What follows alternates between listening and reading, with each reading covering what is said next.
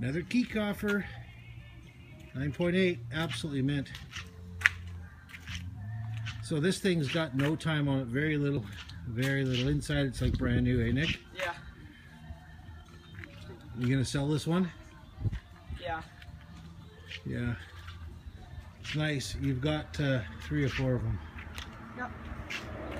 Why don't you fire it up Okay. so we can have a look at it?